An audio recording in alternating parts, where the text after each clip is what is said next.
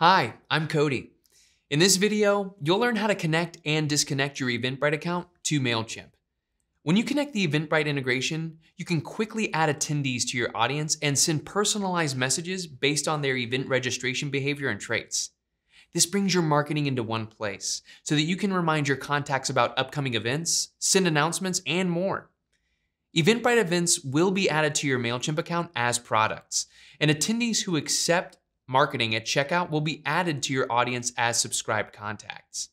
However, if attendees do not accept your marketing, they will not be added to your audience. Today, I want to connect my Eventbrite account to MailChimp so that I can sync upcoming events to promote in my marketing campaigns. Ready to dive in with me? Let's get started.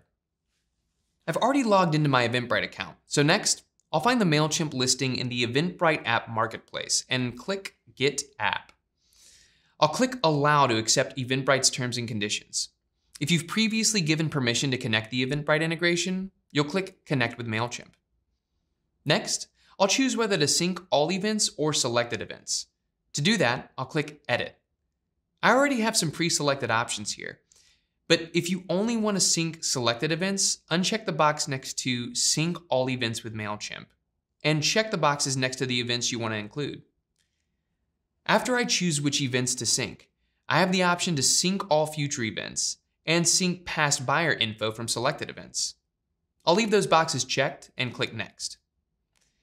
If I click the dropdown under Connect to MailChimp, I can edit my MailChimp authentication name and click Save.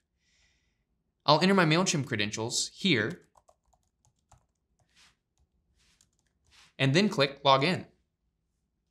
Again, if you haven't previously given permission to connect the Eventbrite integration, click Allow to authorize the connection.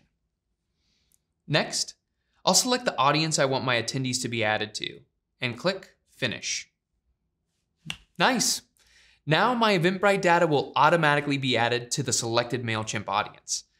After your account completes the sync, setup is finished.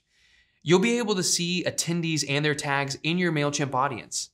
Within MailChimp, Contacts will be tagged with Eventbrite related information, like the event name, venue, organizer, and artist.